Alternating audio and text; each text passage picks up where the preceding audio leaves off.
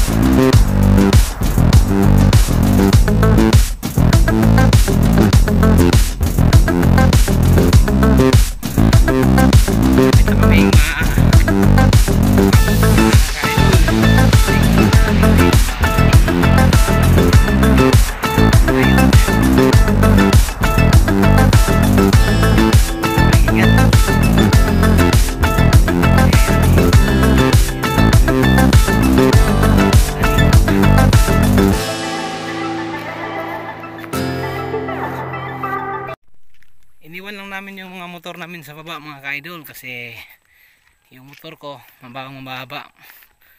Masangit no dire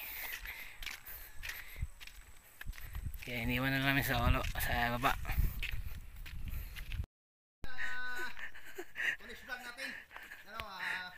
punta kami sa taas. sa kasama ko pala si ni Ariel mga ka-idol si tapusin namin yung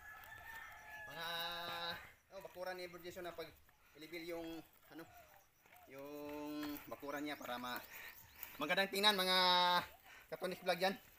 Magandang hapon sa inyo lahat. Sa taot kay ano kay Lakas ng Negros at sa Ginti Gimara, shout out sa inyo lahat, sa probinsya.